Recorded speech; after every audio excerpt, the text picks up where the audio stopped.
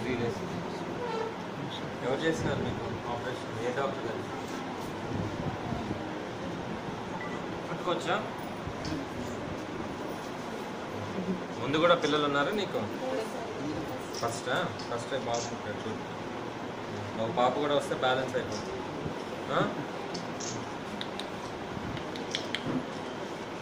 ఆ? నిన్న నిన్న బుధవారం డెలివరీ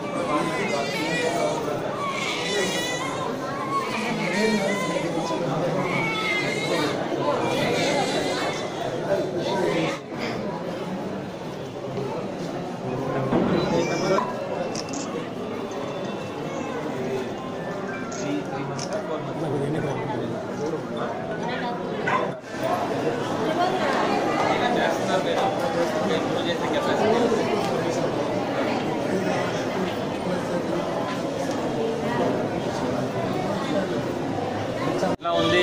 హాస్పిటల్ పనితీరు చూద్దామని. అట్లాగే యాభై పడకల నుంచి వంద పడకల ఆసుపత్రి అయింది. దానికి ఫెసిలిటీస్ ఉన్నాయి అప్గ్రేడ్ చేయడానికి. వీళ్ళకి సఫిషియెంట్ స్పేస్ ఉందా ఒక యాభై బెడ్లు పెంచడానికి. ఎమ్మెల్యే గారు కూడా మొన్న దీని మీద వచ్చి నాకు రిప్రజెంటేషన్ ఇచ్చారు. ఇవన్నీ వసతులు లేవు ఇక్కడ. డాక్టర్లు కొరత ఉంది ఇట్లాంటివన్నీ అని చెప్పి ఇచ్చారు. సో దాని మీద కూడా నేను ఎట్లాగా ఇక్కడే చుట్టుపక్కలకు వచ్చాను సరే ఒకసారి విజిట్ చేసి హాస్పిటల్ చూద్దామని చెప్పి. సర్జరీలు కూడా నెలకి నేను చూశాను. జూన్ నెలలో సుమారు డెబ్బై డెబ్బై ఐదు సర్జరీలు డెబ్బై ఐదు ఓన్లీ ఉమెన్ సర్జరీ అంటే పిల్లలు ఆపరేషన్లు ఉమెన్ సర్జరీసే డెబ్బై ఐదు అయ్యాయి. జూలై నెలలో కూడా సుమారు డెబ్బై సర్జరీస్ దాంట్లో కూడా అయ్యాయి. సో సర్జరీలు అన్నీ బాగానే జరుగుతున్నాయి. డాక్టర్లు టైమింగ్ మెయింటైన్ చేయట్లేదని కంప్లైంట్ వచ్చింది. సో దానికి కూడా సూపరింటెండెంట్ గారికి చెప్పాను. సరే మార్నింగ్ అయితే టైంకి రావాలా? టైమింగ్ వచ్చి మధ్యలో ఏమైనా అవసరాలు ఉంటే చిన్నది అయినా పర్లేదు కానీ టైమింగ్ ఫస్ట్ డాక్టర్ టైంకి వచ్చాడా లేదా అన్న దాంట్లో మార్నింగ్ నైన్ ఏఎం కల్లా రావాలా. సో అని చెప్పడం జరిగింది. So they are doing good work కొన్ని దీంట్లో కొన్ని డాక్టర్స్ కొరత ఉంది దీంట్లో. రేడియోగ్రాఫర్ లేడు. అట్లాగే డిప్యూటీ సివిల్ సర్జన్ లేరు సివిల్ అసిస్టెంట్ సర్జన్ లేరు.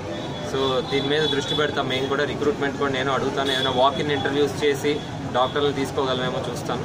సో జమల్ మడుగు ఒక మంచి దీనికి ఇది ఇది అటుపక్క అనంతపూర్ జిల్లాకి ఇటు కర్నూలు జిల్లాకి కూడా క్యాటర్ చేసే ప్లేస్ మన జిల్లాకి కాదు ఇది. మూడు జిల్లాలకి దగ్గరగా ఉండే ప్రాంతం ఇది. సో మనకి అటు కడప పులివెందల ప్రొద్దుటూరు పక్కన పెడితే నెక్స్ట్ పెద్ద హాస్పిటల్ ఏమైనా ఉందంటే జిల్లాలో కమ్యూనిటీ హెల్త్ సెంటర్ అది జమల్మడిగే వస్తుంది. సో ఇంతవరకు ఇక్కడ సర్జరీస్ అది మిగతా హాస్పిటల్స్తో కంపేర్ చేస్తే ఈ సిహెచ్సిలో బాగానే ఉన్నాయి. నేను కూడా ఇద్దరు ముగ్గురు పేషెంట్స్తో ఇంటరాక్ట్ అయ్యాను. వాళ్ళు కూడా ఒకళ్ళు నొస్సం నుంచి వచ్చారు ఒకళ్ళు జమల్మడు నుంచి. తొమ్మిది నెలల నుంచి టెస్టింగ్ ఇక్కడే చేసుకుంటున్నాను తొమ్మిది నెలల నుంచి బ్లడ్ టెస్ట్ కానీ హిమోగ్లోబిన్ కానీ ఇట్లాంటివన్నీ ఇక్కడే చేసుకున్నారు. లాస్టిక్ సర్జరీ కూడా ఇక్కడే చేశారు.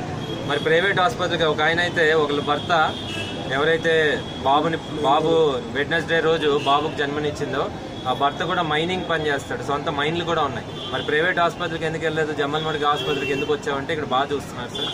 అందుకనే నాకు డబ్బులు ఉన్నా సరే ఈ గవర్నమెంట్ హాస్పిటల్కే వచ్చామని చెప్పి కూడా చెప్పింది సో ఈ నేపథ్యంలో కొంచెం మనం కూడా డిసిప్లిన్ మెయింటైన్ చేయాలి డాక్టర్స్ కూడా టైమింగ్ మెయింటైన్ చేయాలి? ఈ హాస్పిటల్కి వంద పడకలైంది. తొందరగానే పై ఫ్లోర్లో కానీ ఎక్కడ ఒకవేళ సపోర్ట్ స్ట్రక్చర్ సపోర్ట్ చేస్తే ఇంకో యాభై పడకలే. యాభై బెడ్స్ వేయాలి కాబట్టి ఓ ఇన్ పేషెంట్ వార్డు పైనే ఒక రెండు వార్డులు వేసుకుంటే ఇరవై ఐదు ఇరవై ఐదు. మనం యాభైని వంద కింద కన్వర్ట్ చేసేయచ్చు. నేను కూడా నా వంతు సహకరిస్తాను ఈ హాస్పిటల్కి. సో ప్రభుత్వం నుంచి ఎట్లాగా అడుగుదాం. నా వంతు నా నా వైపు నుంచి కూడా బెడ్షీట్స్ అవి లేవన్నారు. ఈ నెక్స్ట్ నాలుగైదు రోజుల్లోనే కొత్త బెడ్షీట్స్ అన్ని జిల్లా స్థాయి నిధులతో కొని వీళ్ళందరికీ కొత్త బెడ్షీట్స్ చాలా నెలలు అయింది మాకు బెడ్షీట్ సప్లై లేదు. అని ఎమ్మెల్యే గారు కూడా రిప్రజెంట్ చేశారు డాక్టర్ గారు కూడా చెప్పారు.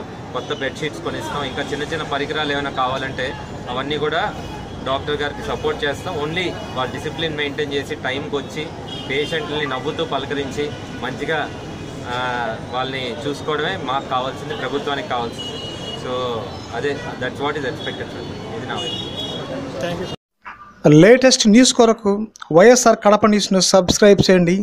ఆ తర్వాత ప్రక్కనే కనిపించే బెల్ ఐకాన్పై ట్యాప్ చేయండి.